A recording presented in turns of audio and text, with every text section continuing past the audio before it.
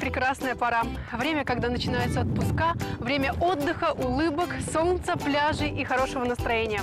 Как с кем и где провести три летних месяца, каждый решает сам. Главное, чтобы эта беззаботная пора оставила только приятные впечатления. Можно ли отдохнуть и получить массу положительных эмоций, не выезжая за пределы республики? Узнаем сегодня. В эфире программа «Комфортный город».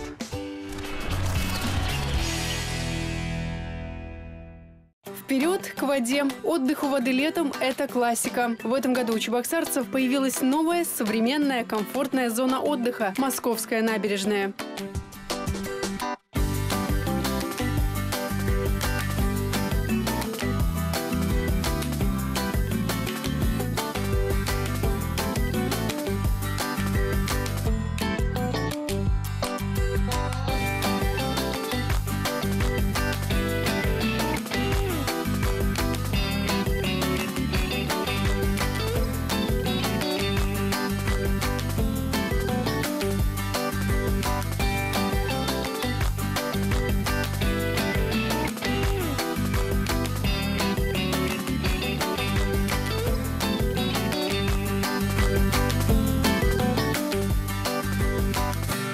Это одно из самых любимых мест Лены и Андрея Шалаевых. Как только позволяет погода, молодая семья приезжает отдыхать именно сюда.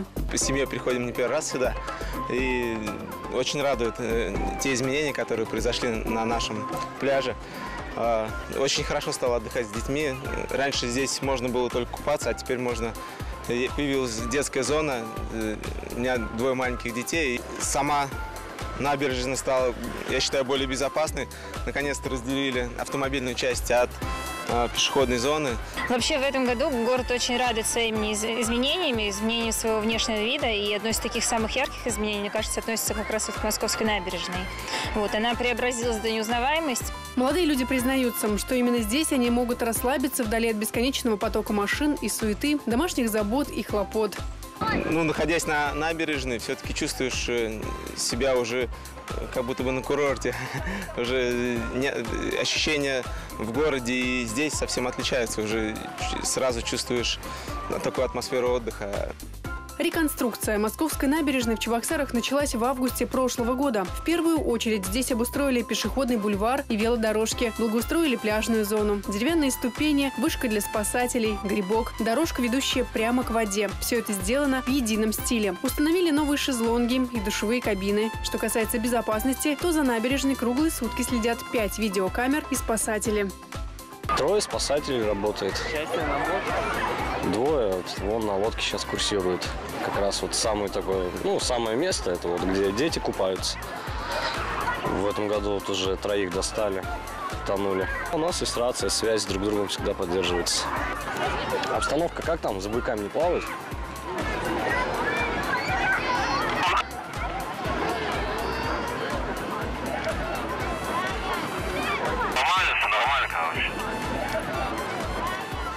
Все, принял. Елисей и Сава тянут родителей на игровой островок, зеленую лужайку со всевозможными качелями, шведскими стенками, мягкими лежаками, огромной акулой. Эту площадку облюбовали и дети, и родители.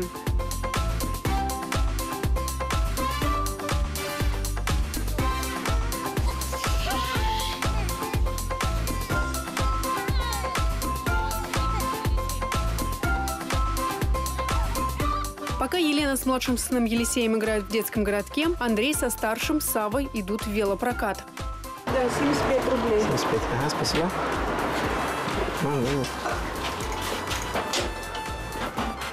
В прокате есть байки любого уровня. Для новичков и для любителей, подростковые и взрослые модели. Отличная погода, качественная дорога, скорость и ветер. После такой поездки, признается Андрей, на долгое время сохраняется невероятный заряд бодрости. Кстати, выделенную дорожку облюбовали не только велосипедисты. С большим удовольствием здесь катаются скейтбордисты, роллеры. Многие специально приезжают сюда. Тут очень ровные дороги, как раз подходят, чтобы кататься. В Чебоксарах очень трудно такие найти, поэтому я сюда специально приехал, чтобы покататься. А еще тут очень хорошо сделали то, что поставили фонтанчики. Я вот объездил тут везде и заметил то, что лавочек очень много. Они не сгруппированы в одном месте, а разбросаны повсюду. Поэтому отдохнуть можно везде. Спортивный инвентарь на расхват. Вообще, после реконструкции набережная стала своеобразным спортивным комплексом. Установили тренажеры для воркаута, обустроили площадку для пляжного волейбола. С утра до вечера здесь тренируются любители активного отдыха со всего города. А в выходные дни проходят турниры. Э, Во-первых, э, она стала больше. Во-вторых, э, более качественные условия для игры в волейбол. Сетки. Соревнования часто проходят. Вообще здорово. Разметка. Хороший песок. Перегородка. э, Да и хорошая компания. И плюс рядом еще Волга. Можно после волейбола, кто проиграл, нырнуть туда. Очень удобно, в тенечке сидишь, смотришь, наблюдаешь, как наши ребята играют. Меня здесь не было примерно 3-4 года, и, в принципе, очень стало комфортно отдыхать. Комфорт чувствуется на каждом шагу. Изящные фонари, удобные лавочки, яркие цветы и бесконечная голубая гладь. Настроение создает и влюбленная пара – скульптура из самшита, которая встречает всех гостей набережной. Одно из самых таинственных арт-объектов города – вход в подземный город – делает это место особенным. По легенде, за тяжелыми воротами находятся древние ходы и убежища. Прикоснуться к истории здесь можно в буквальном смысле.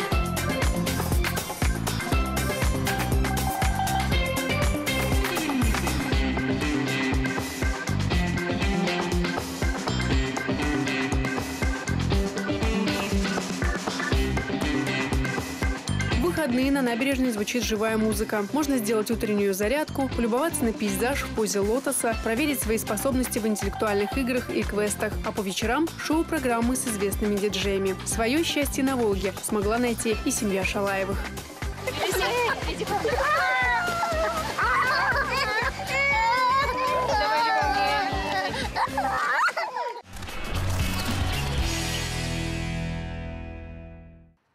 Чем жарче становится на улице, тем больше тянет в парк, в тень деревьев. В этом году у чебоксарцев и гостей столицы появилась уникальная возможность отдыхать не просто в парке, а в сказочном лесу. На три летних месяца городской парк Лакреевский лес стал домом для Алисы из Зазеркалья и ее друзей. Еще на входе гостей встречают чеширский кот и знаменитый белый кролик, а на тропинках парка гуляет сама Алиса со своей нравной красной королевой и озорным шляпником. Я спокойно сидела, читала книгу и увидела очень странного белого кролика, еще и в сюртуке. Ну и побежала за ним, а он от меня убежал и знакомиться не захотел. А тут э, шляпник и красная королева, и вообще красивый зеленый лес. Мне здесь очень понравилось. Я решила провести здесь свои каникулы. Мы стараемся сделать все, чтобы Алиса осталась с нами подольше. Чтобы она весело провела свои каникулы, а заодно и все дети, которые посещают наш сказочный лес. Я хоть и злая королева, но гостеприимная, можно сказать. Я научу Алису, а также всех детей, которые посещают наш парк, играть в шахматы большие и, конечно же, в крокет. У меня такие талантливые друзья. Э, Алисе мы будем показывать фокусы, да. Будем петь для Алисы, танцевать для Алисы. Я научу Алису и всех-всех-всех друзей, кто придет к Алисе сюда, в наш сказочный лес, я научу танцевать джига-дригу. Да, джига-дригу. Вот, ну и, конечно же, будут ходулисты, да. Это, это девочки и мальчики на, на длинных ножках будут ходить. Ой, вообще. А всем желающим я могу сделать шляпку, красивую шляпку. На одной из полян парка действительно появилась огромная шахматная доска. Шляпник и королева с удовольствием играют в шахматы и приглашают умников и умниц сразиться в интеллектуальном поединке.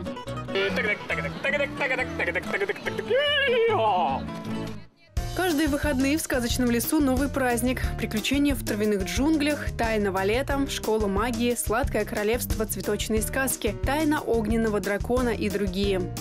Много цирковых выступлений, э, ходулисты, жонглеры, ростовые куклы.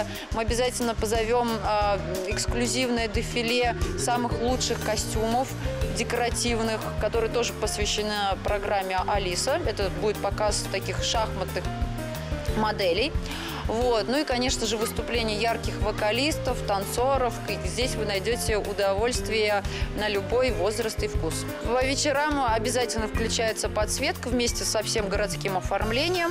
Вот. То есть декоративные элементы, которые в этом году установили, они тоже все светятся. И в ближайшее время появятся декоративные светящиеся кубы, на которых можно будет сфотографироваться и посидеть, отдохнуть.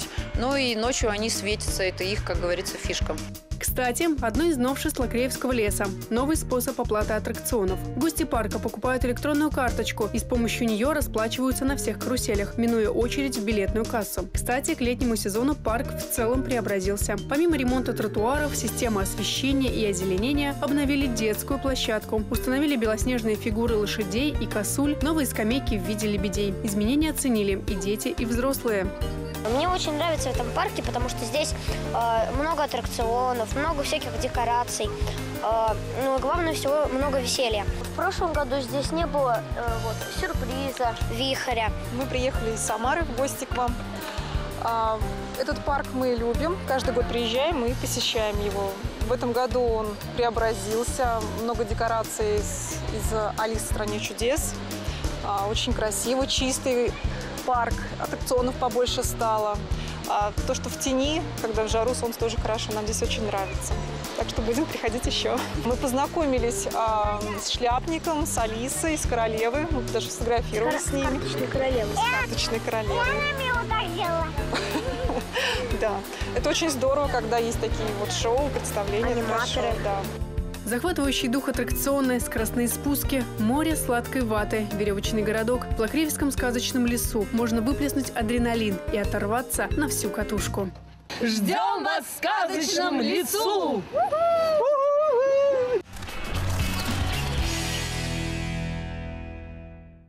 Лето в городе может быть не только интересным, но и полезным. Именно так считают те, кто решил проводить свои каникулы в Чебоксарском технопарке «Кванториум». За три смены здесь отдохнули почти 300 школьников. Каждая смена таит в себе какую-то особенность, да, это сюрприз для детей, чем они будут заниматься. Старших ребят мы водим знакомиться с музыкальными инструментами, в духовом оркестре они занимаются. Ребят помладше вводим на кружки эстетические, это рисование, бумажная пластика и так далее. Что здесь самое интересное? Это дух. То есть, с одной стороны, вроде свобода, каникулы, у нас тут разные игры интересные на а, развитие воображения, на развитие творческого мышления. В то же самое время они получают нужную полезную информацию. С самого утра в Фанториуме, как и в любом другом лагере, зарядка, завтрак. А потом начинаются необычные мастер-классы или кванты по самым разным направлениям. К примеру, эти ребята учатся рисовать с помощью 3D-ручки. Вначале дети создают плоские изделия и потом постепенно переходят к 3D-объектам. В современном мире уже 3D-принтеры идут, и это как для примера явно показывает, как это устроено, как наращивается предмет из пластика. И, то есть начинаем 3D-ручек, на плоскости, например, делаем, на, по форме. Показываем пример, как работает э, пластик, как с ним можно работать в современном мире. И, соответственно, в будущем уже на 3D-принтере они уже по нему будут понимать, как работает 3D-принтер. Он наслаивается. Вот я, например, хорошего, ну как, то есть усидчиво все сделали. Вы видите, как человечек сидит, и такие, у нас, получается, это офицер, солдат, и такие фуражки, и сидит на скамейке. Это развивает его воображение и моторику. Результаты своей работы ребята видят на первом же занятии. Буквально за 15 минут можно сделать вот такие вот стильные очки с помощью 3D-ручки. Кстати, стильный аксессуар потом можно забрать с собой и подарить, например, маме. А вот ребята, которые занимаются в нано-квантуме, смогут порадовать близких настоящими кристаллами, которые сами вырастили. Мы работаем на кристаллах. Юные химики к тому же учатся создавать не ньютоновскую жидкость, проводят множество опытов. Занятия в биоквантами помогают изучать микромир. Семен Казамбаев больше всего любит занятия по робототехнике и моделированию. В свои 13 лет он легко разбирается в деталях и схемах. На первом же занятии мальчик сумел собрать вот такого умного робота.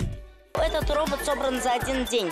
Он со своим ультразвуковым датчиком сканирует э, площадь и определяет предметы и записывает их в переменные, тем самым составляя карту поверхности. От старших товарищей не отстают ребятишки помладше, придумывают и изобретают своих роботов из лего, а затем учатся их оживлять под чутким присмотром наставников и педагогов. Кванториум может похвастаться своими педагогами. Более трети из них имеют квалификационные категории. Все педагоги у нас прошли обучение в Москве. Они познакомились с многими разными программами и мотивации детей, и вовлечения их в творческую деятельность через игру прежде всего. И, конечно, дети, увлекаясь, начиная с игры, потихонечку втягиваются в процесс творчества. Они начинают сами придумывать какие-то модели, собирать. Они начинают сами экспериментировать. Ну, наверное, в этом основная задача кванториума. С каждой сменой ребят, желающих проводить свои летние каникулы не дома перед телевизором, а с пользой, становится все больше. Я сюда прихожу в 8 часов 10 минут. Э, Ухожу отсюда в 3 часа дня. Это мой первый лагерь, в котором я отдыхаю, это- и мне очень нравится. Мне понравилось в биокванториуме. Мы недавно смотрели в микроскопы. Тем ребятам, которые сидят дома, я советую записаться в этот лагерь в следующем году или в сентябре ходить сюда. Тут очень весело и хорошо. Нравится заниматься 3D-ручками, смотреть под микроскоп, ну и за- заниматься роботехникой. Организаторы обещали, что в кванториуме откроется еще одна смена. Мы планируем э, в рамках подготовки к соревнованиям профессионального мастерства Junior Skills. Это мультимедийная журналистика, прототипирование, сетевое и системное администрирование и лабораторный анализ. Э, Сейчас у нас ребята э, с первого по восьмой класс здесь занимаются. Мы их делим на группы, соответственно, по возрастам. Э, Все ребята, независимо от возраста, посещают все направления кванториума. Они знакомятся, первый день их экскурсии, они знакомятся. Это наноквантум, биоквантум, робо, аэро и энерджи квантум. Затем ребята определяют, где им больше понравилось, и посещают мастер-классы. Кстати, Чебоксарский детский технопарк вошел в тройку лучших в России, обогнав свои аналоги в Татарстане, Московской области. Менее чем за полгода воспитанники Чебоксарского технопарка становились призерами конкурсов и олимпиад 52 раза. Комфортное, познавательное, культурное, спортивное. Таким стало лето 2017 для горожан и гостей столицы. А если вы еще не успели приобщиться ко всему к этому, вперед! Чебоксары ждут вас!